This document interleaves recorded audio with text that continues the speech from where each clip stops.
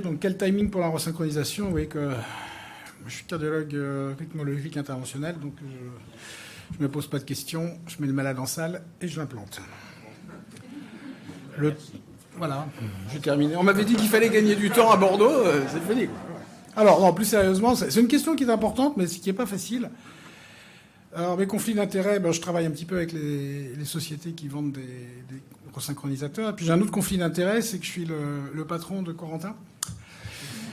J'ai trouvé ça pas facile, hein, le comité d'organisation. Hein. Euh, je, tiens quand même à passer une chose, c'est que je ne me suis absolument pas mêlé du cas de Corentin. Normalement, je revois toujours la présentation, mais là, je, dis non, non, là, je, reste neutre.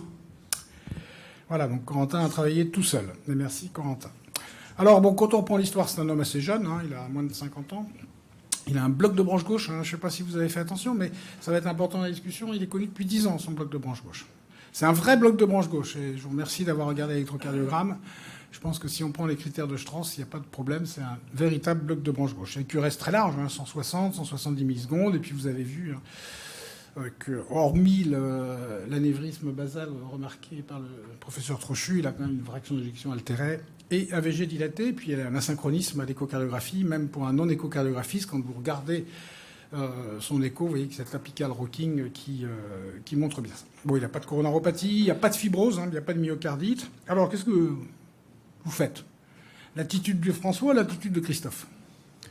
L'attitude de François, c'est ça. On prend son temps, on ripaille, comme hier soir, il paraît. Hein, j'étais pas là, mais j'étais dans l'avion, mais euh, voilà. Et puis, on se met des médicaments, puis on se dit que tout va s'arranger, puis on verra à la fin du repas ce que l'on fait.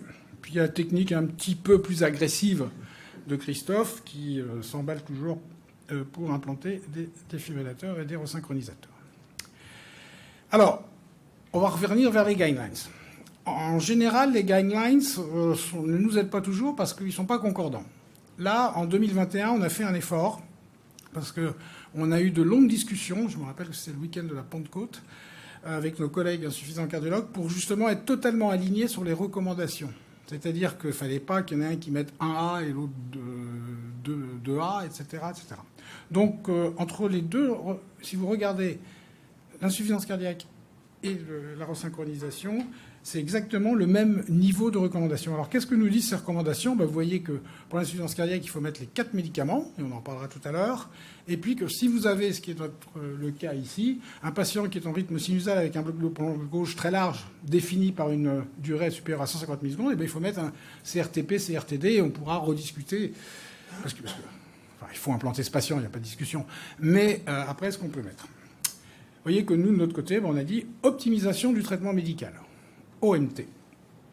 Sans préciser ce que ce, que c'est, puisque à l'époque, on n'avait pas non plus, euh, lorsqu'on a écrit nous nos guidelines, on n'avait pas les quatre fantastiques, comme François les appelle, euh, comme beaucoup.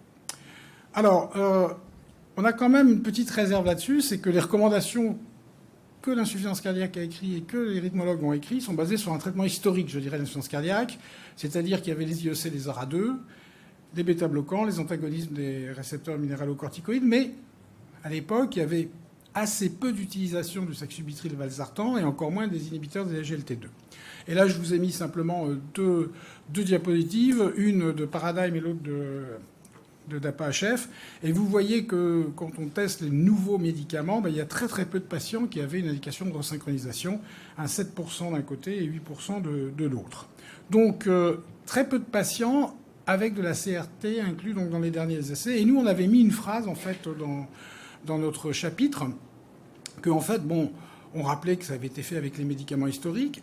Il y a une étude qu'on avait retrouvée et qui montrait bien que l'efficacité des traitements médicaux sur les patients qui ont un bloc de branche gauche, c'est peut-être moins bon que chez les patients qui ont des QRS fins. Et puis on avait simplement euh, dit que pour l'instant, bah, on n'avait pas d'argument fort pour devoir, avant d'implanter, réintroduire de nouveaux médicaments. Et euh, vous voyez, euh, on avait mis la saxubitril, l'ivabradine qui est peu utilisé aujourd'hui, et puis les, IGLT2. Donc euh, voilà, on, avait mis une petite réserve, on disait bon, on ne sait pas pour ces nouveaux médicaments. Alors je vous montre cette étude donc, qui a été publiée il y a 5 ans, qui en fait est une étude assez importante, il y a plus de 1000 patients inclus dedans. En fait, ils ont séparé les patients en trois groupes.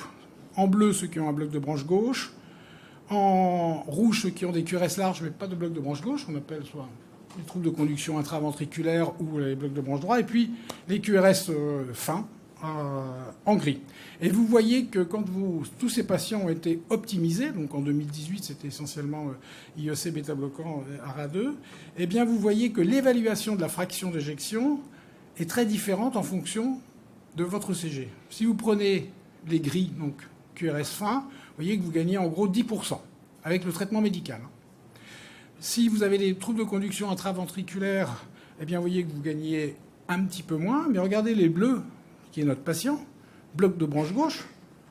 Alors, peut-être que c'est significatif pour vous, mais passer d'augmenter de, 3 à 4% c'est peut-être aussi euh, dans les erreurs de la méthode entre deux examens. Donc, vous voyez très, très, très, très, très peu d'effets sur la fraction d'éjection des médicaments sur les patients qui ont un bloc de branche gauche. Voyez, là, je vous ai mis, vous voyez, euh, QRS normal, la différence, vous voyez, c'est 10%. Si vous avez un traitement médical optimisé, si ce n'est pas optimisé, bah, vous voyez, c'est-à-dire qu'on a mis des traitements, mais pas les doses sont pas au maximum, bon, c'est un peu, un peu moins bien, les QRS Vous voyez que le bloc de branche gauche, que ce soit optimisé pas optimisé, ça change strictement rien. On augmente un tout petit peu, hein, de 3,5%. Alors, mais c'est vrai que les insuffisants cardiologues comme François, maintenant, ils, sont un petit peu plus agressifs, on va dire. Hein. Euh, vous connaissez cette, euh, étude euh, d'Alexandre Mebaza qui a comparé pour les patients qui sont insuffisance cardiaque et de fraction d'éjection réduite notamment, où on est très, très agressif, entre guillemets. Hein. je crois que c'était en deux semaines hein, qu'il fallait essayer vraiment d'être agressif et de, mettre tous les traitements et les doses maximum. Vous voyez, en rouge par rapport au bleu, le traitement euh, classique que l'on fait euh, que tous. Et vous voyez que là, c'était la mortalité. Il y avait une différence significative. C'est l'étude Strong qui a fait énormément de bruit. Et puis, euh, à l'ESC, il y a quelques semaines, il y a eu un, un update des guidelines les guidelines européens, en général, c'est des cycles de 4 ou 5 ans. Et puis on s'est rendu compte à l'ESC que parfois, ben, 4 ou 5 ans, c'était long, donc on fait des, mises à jour un petit peu, qui sont des, petites updates. Et vous voyez que là, aujourd'hui, c'est une classe 1, donc c'est vraiment, euh, il faut faire là. Vous n'avez pas le choix. Eh bien, euh, il faut traiter les patients avec tous les médicaments et les titrer en 6 semaines pour améliorer le décès ou la réhospitalisation. Donc maintenant, on va de plus en plus vite.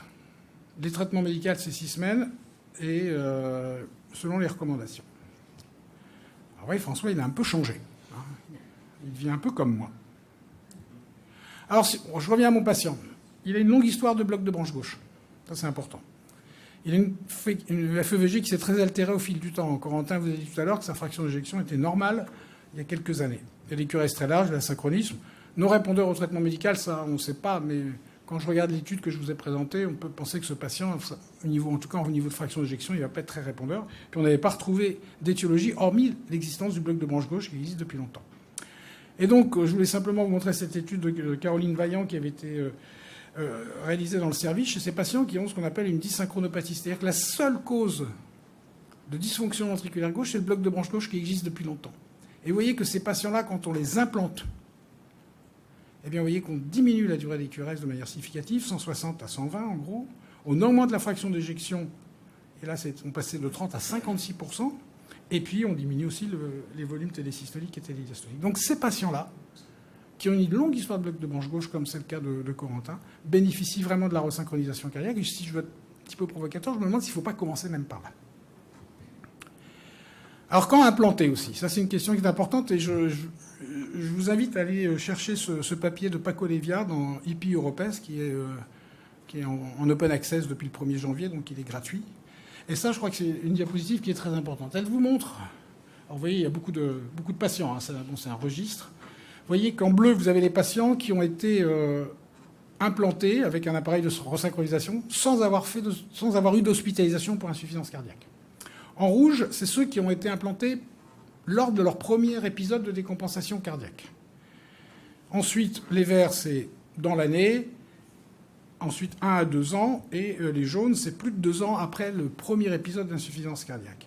Eh bien, vous voyez que si vous les implantez dans l'hospitalisation, donc très rapidement, eh bien, vous avez exactement le même pronostic, et là, c'est la mortalité totale, que les patients qui n'ont jamais présenté d'insuffisance cardiaque. Par contre, vous voyez déjà que si vous attendez après l'hospitalisation dans la première année, ce qui peut paraître assez court, vous voyez que vous diminuez la survie et ça continue comme ça. Plus vous implantez tard, plus vos patients vont mourir. On a la même chose pour la mortalité totale ou l'insuffisance cardiaque et pour les hospitalisations pour insuffisance cardiaque. on, a, on a un petit peu la même chose. Plus on implante tôt, meilleur sera le pronostic de vos patients. Alors, dernière diapositive. Alors, on peut discuter, euh, implanter vite, implanter pas vite. Mais si je devais faire passer un seul message, c'est celui-là. Chez les patients qui ont une indication de resynchronisation cardiaque en Europe, vraiment des indications, alors j'enlève les patients déments, les patients euh, avec des comorbidités majeures, euh, etc. En fait, sur tous les patients qui ont les critères de resynchronisation cardiaque, il n'y en a qu'un tiers qui sont implantés aujourd'hui en Europe. Donc, pensez-y. Merci.